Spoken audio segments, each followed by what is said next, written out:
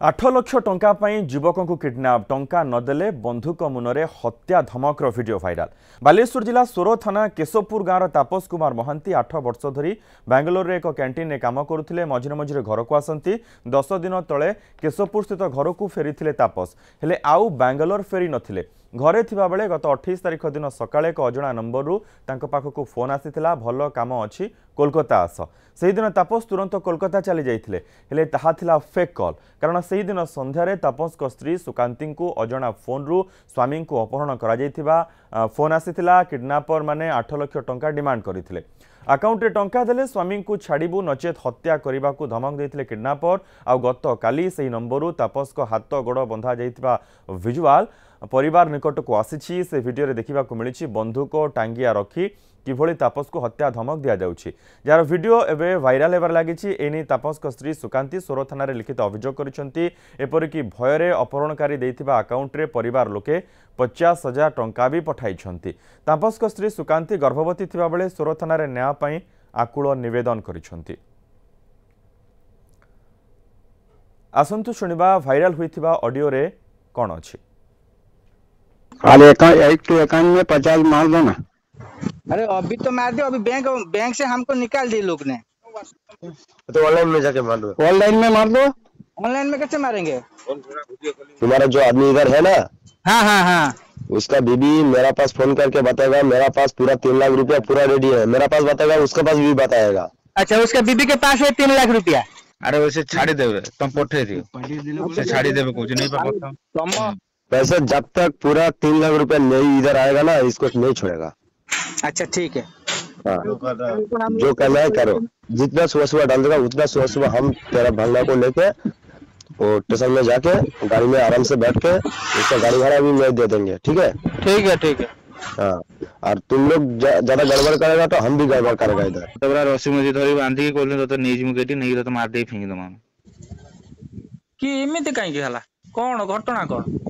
ଆରେ ଘଟଣା କିଛି ନାହିଁ ସେ କହୁଛନ୍ତି ଖାଲି ପଇସା ଦେଇଦିଅ ଆମକୁ ତତେ ଆମେ ଛାଡିଦବୁ ନା ତମେ ତାଙ୍କର ପଇସା ଦେଇଦିଅ ମାମୁଁ ସେ ଛାଡିଦେବେ ମତେ କିଛି ଟେନସନ ନାହିଁ ସେ ମତେ ଛାଡିଦେବେ ଆରାମସେ दो लाख पचास हजार कल पूरा डालना चाहिए दो हजार दो लाख पचास पचास हजार हजार हाँ डालेगा अरे अभी पचास हजार देगा ना तीन लाख हो जाएगा तो उसको छोड़ देगा ठीक है ठीक है हाँ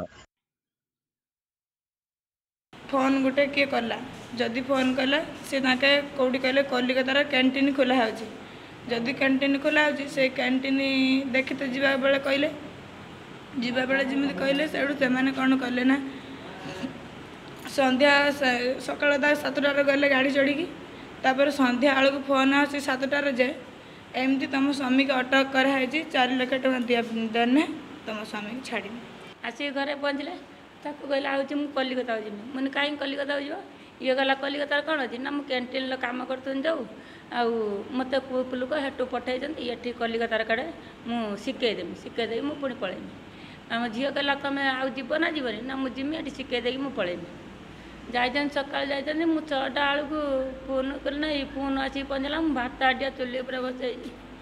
ମୋତେ ହାତ ଗୋଡ଼ ବାନ୍ଧିକି ରଖିଛନ୍ତି ବନ୍ଧୁକ ଗୁଳି ଦେଖାଉଛନ୍ତି ମୋତେ ଆଠ ଲକ୍ଷ ଟଙ୍କା ଦିଅନ୍ତୁ। ସେ ହେଉଛି ଯାଇଥିଲେ କଲିକତା ସକାଳ ଗଲେ ସନ୍ଧ୍ୟା ବେଳକୁ ଖବର ଆସିକି ପହଞ୍ଚିଲା। ତାଙ୍କ ଘରକୁ ଆସିକି ପହଞ୍ଚିଲା ତାଙ୍କ ମୋବାଇଲରେ ଏମିତିକି ଚାରି ଲକ୍ଷ ଟଙ୍କା ଦେବ ତମ ସ୍ୱାମୀକି। ଆମେ ଅଟକ ରଖିଛୁ ଚାରି ଲକ୍ଷ ଟଙ୍କା ଦେଲେ ହେଉଛି ଆମେ ହେଉଛି ଛାଡ଼ିବୁ ନହେଲେ କା- ପୁରା କାଟିକି ନହେଲେ ଗୁଳି କରିକି ମାରିଦେବୁ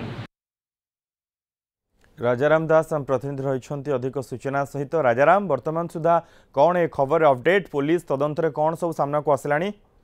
ମନୋଜ ଯୋଉଭଳି ଭାବରେ ଯୋଉ ସ୍ୱରର ତପନ ମହାନ୍ତଙ୍କୁ ଅପହରଣ କରାଯାଇଛି ଯୋଉ ଅଠେଇଶ ତାରିଖରୁ। ବର୍ତ୍ତମାନ ସୁଦ୍ଧା ପୋଲିସ ଏ, ପୁରା ଛାନଭିନ ଆରମ୍ଭ କରି ଘଟଣାସ୍ଥଳକୁ ଟ୍ରାକିଂ କରି ଯାଇଛି ଯାହା ଫଳରେ ଅ, ମନେ କରାଯାଉଛି ସେ ଅପରାଧୀ ଯୋଉ ଅପହରଣ କରିଛନ୍ତି ବନ୍ଧୁକ ଦେଖେଇ ଏବଂ ଆ, ଟାଙ୍ଗିଆ ରଖିଛନ୍ତି ବାନ୍ଧିଛନ୍ତି ହୁଏତ ଆ, ଧରା ପଡିଯିବ ବୋଲି ଆଶା ରଖିଛୁ ବର୍ତ୍ତମାନ ସୁଦ୍ଧା।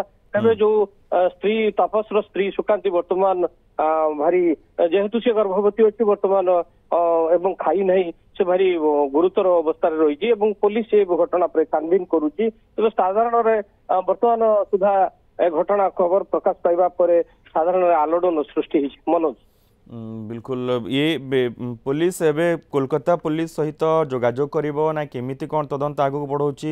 କେମିତି ଏ ଏ ଯୁବକ ଜଣଙ୍କ ମୁକୁଳିବେ ଏ, ଦେଖନ୍ତୁ ମନୋଜ ବର୍ତ୍ତମାନ ସା- ପୁଲିସ ସ୍ୱର ପୁଲିସ ସାଇବର ସହାୟତା ନେଇଛି।